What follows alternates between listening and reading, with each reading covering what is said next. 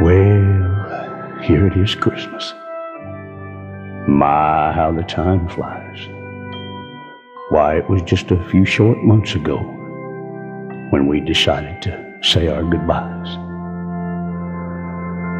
So, here it is Christmas. And I hope things are well with you. Oh, I've been to a few parties and a couple of school plays. Well, you know, it sort of gave me something to do. Oh, I'd go to parties and have a drink, and always I'd want to leave. But folks don't throw too many parties on Christmas Eve. Cause it's mostly, I guess, for families, not for the drinking crowd. It's for children's laughter and excitement, and not for something lush and loud.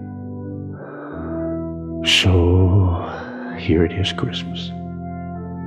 I know you're lying by the fire, listening to Christmas music and watching the flames go higher.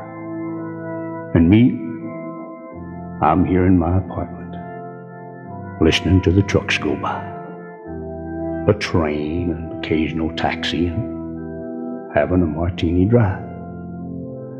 And thinking about our 27 happy Christmases together. And our love just somehow fell apart.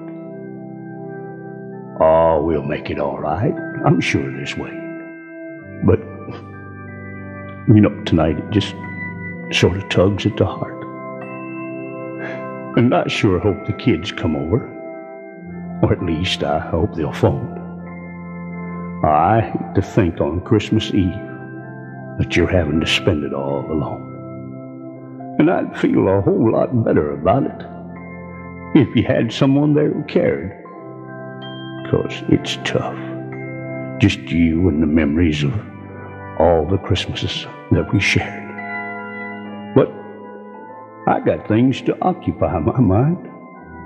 Like trying to wrap this stupid gift and wrestling with this flat martini, hoping it'll somehow give me a lift. But here it is Christmas, and I'm not going to shed a single tear. So, Merry Christmas, baby.